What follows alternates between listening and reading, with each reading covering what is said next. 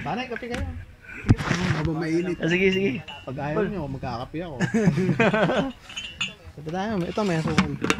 Creamer, baka gusto nyo ng creamer. Pero mas the best yan, walang creamer.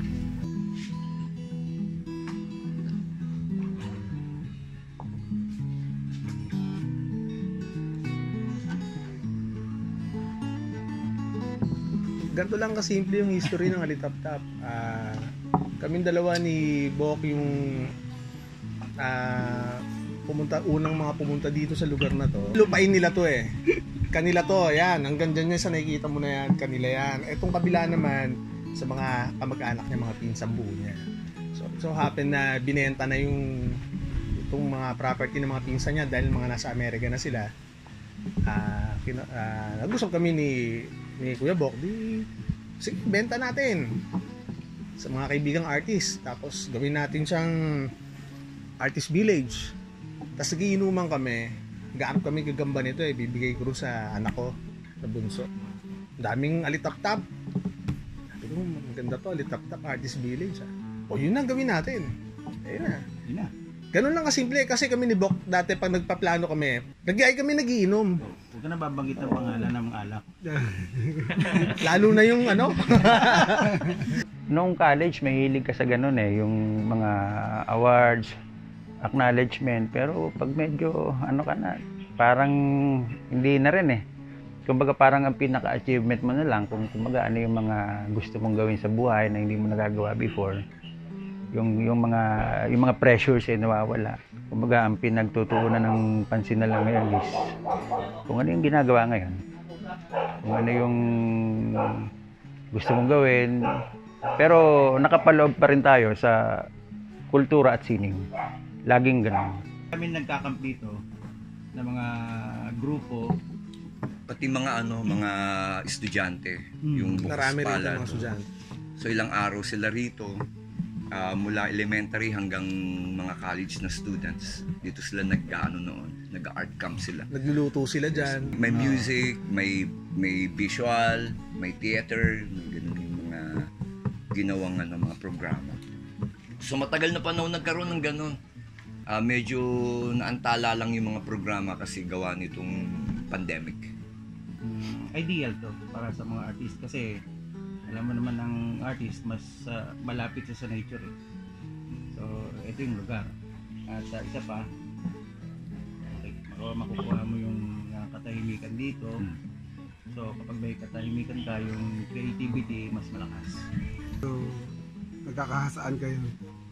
Mga ideas, lumilipad lang kung saan saan.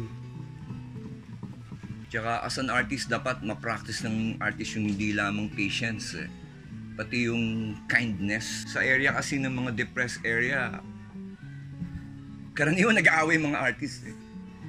Kasi siguro dahil yung environment nila, paano sila, ano nangyayari sa buong araw, paano.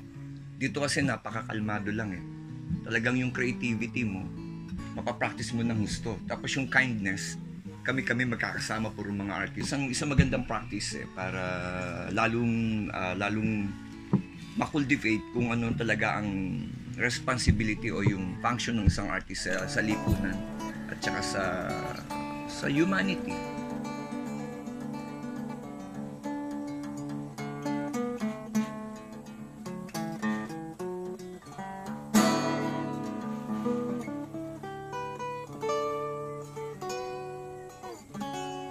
Advantages naman talaga yung technology pagdating sa, lalo na sa amin, um, musician, performer, performers, tapos uh, nagka-create din kami ng music.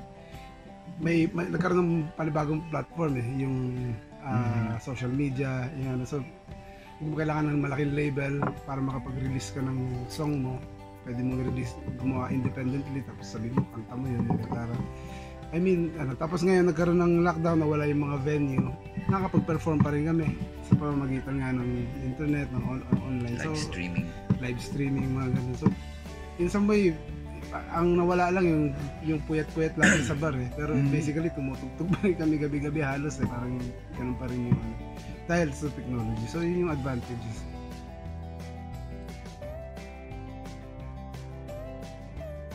Disadvantage siguro nun ano eh. Pagka nasobrahan ka ng social media. Ayun. Kaya iniiwasan, ako, in my part, iniiwasan ko din kasi Siyempre, ang social media masyadong open yan. eh.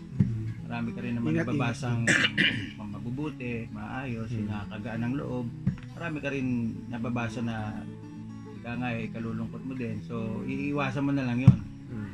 Kasi kung dahil lang din sa mababasa mong ganun, buong maghapon mo, Sila. bad trip ka na. So, iwasan mo na lang. So, At saka niyan, at least, ba? binabago niyan yung social media pag sobra ka, babaguhin niya yung pagkatao. Yun ang yun ang isa sa hindi magandang ano niya, epekto niyan. Kasi isipin mo na lang kailangan mo munang kunan ng picture yung almusal mo bago ka kumain, 'di ba? Magpiprito lang ng tilapia, kailangan mo nang kuhanan bago i-post dun sa, 'di ba? Na yung likes ko ang konti pa. 'Di ba? Mga ganon, parang naging dependent na sila doon dahil mas marami pang bagay sana silang magagawa, eh, hindi lang yun eh. Kasi tutusin nga, wala namang katuturan yun eh, di ba? Ah, yung mga tao nagpipilit maging masaya tapos gusto na i-contribute yung yung happiness na nararamdaman sa so that's why display nagdi-display sila ng kung ano man. And uh, sign yun or uh, pagpapatunay yun na uh, yung mga tao is talaga empty talaga sa akin parang mas lagpas yung mga visual art na gagawa ko ngayon eh. Kasi ramdam na ramdam ko siya eh. Na, dahil na kapag gumagawa na ako ng gabi, hindi na ako nagpapatugtog ng music eh. Narinig na rinig ko yung mga crickets eh. Tapos yung hangin. Yun na yung ano ko yung sounds ko. So, parang ang dating pa minsan, nakikipag-communicate ka na doon sa crickets. Parang yung kung ano yung kinukwento niya sa iyo. Parang may, may ganung uri ng magic eh. So, mas malapit ka sa nature. As an artista, yung napapansin ko. Mas malapit ka sa nature, mas marami kang, Ideas. tsaka yung production mo is, Iba. ano, iba. Interesting to. Ito, tong piece na yan.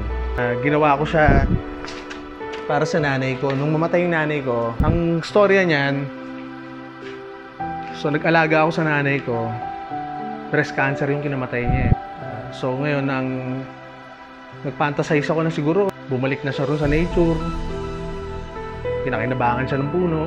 Kaya, ang art kasi, hindi naman siya, ano eh, pasikatan eh. Ang art, pahabaan yan eh. Kung hanggang, kung hanggang ilang taon mo may lalaan yung practice mo eh. Yung buhay mo dun sa, sa, sa pag-art mo eh.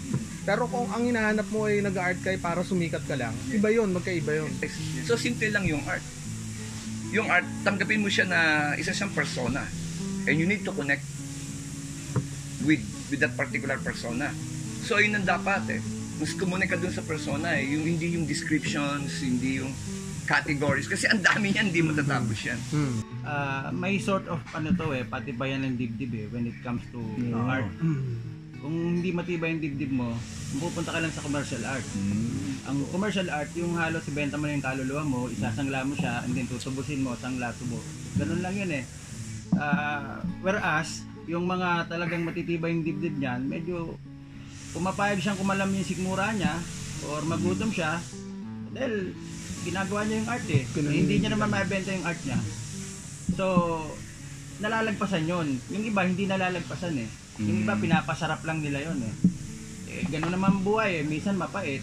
So, pag tumigil ka dun sa mapait na stage ng buhay mo, medyo talo ka. Dapat malagpasan mo rin lahat yun.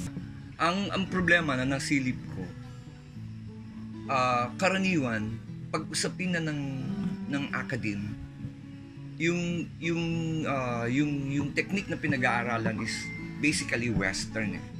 Tapos lagi tayong nakapattern kung ano ang nangyayari dun sa west hanggang sa estilo ng mga artist, paano ipahid, yung pag-uugali ng meron din tayong mga Pilipino na dinidiscuss tungkol dyan. Pero pag hi, pinag-aralan mo din yung art din ng mga mga sinauna hanggang kay Luna is talagang yung West. So parang tayo ay nakikisakay dun sa usapin ng pag-usapin ng, ng art sa academe na dun lang tayo nakapattern. So dito, humahawa kami. Nagtuturo ako, baka nagturo ako ng, ng music, tuturo ako ng gitara, pero it's my invention how to do it. And then yung, yung naitulong ng academe is simply uh, yung technicalities. Technicalities. So dapat tayo mas andun lang tayo sa technicalities but the education itself the the the styles man kailangan ano ah, mag mag-ubos ka ng panahon na pag-aralan pa paano talaga. Dapat mas ganun ang pagtuturo eh. siguro sa mga ano mga mga gusto maging artist, gusto mag-art. Ano 'yan eh, ah um, lifestyle siya eh, pagiging artist eh. Hindi siya hindi siya basta trabaho lang. Bubuhay buhay mo siya. Kumbaga wala kang nagre-retire na artist. Nagpipinta hanggang tumirik, kumakanta hanggang tumirik. Eh, yun yun eh. Kasi ano siya, way of life siya. Yung art kasi, ah, pag pinagbuti mo siya, bibigyan ka din niya ng kabutihan pagdating ng araw. Yung mga hindi mo ina-expect, sobra-sobra pa doon sa ina-expect mo, darating sa'yo. Sobra-sobra pa sa mga sa mga hindi mo inaakala, lagpas-lagpas langit pa yun yung madadama mo. Hindi lang sa monetary ah, pati fulfillment, lahat, kaligayahan, friends, lahat, sobrang dami niyang bibigay sa'yo. Basta dinire-diretso mo yan, sobrang dami talaga. At pagdating ng araw yon parang wala kang laging problema. Yun yung, kami, ganun kami dito. Yun yung maturity dun sa art na ma makakamtam mo pag yung dum- pinagbuti mo siya. younger artists o young artists or mga estudyante, ano lang, tuloy lang ang buhay. Ibig sabihin, enjoy. Enjoy lang lagi. At ah, yung responsibilidad, lagi ring kakabit ng ah, kasiyahan. eh. Dapat yung responsibilidad. So, laging iisipin mo. Kasi mahirap naman yung masaya ka lang, pero may nawawasak naman na iba. So, dapat responsable tayo. Then, ah, pasyal kayo pag pwede na dito sa Litaksa. Marami kami dito pa-experience sa inyo na ayaw nyo ma-experience. Hangover ba yan? Kinabukasan.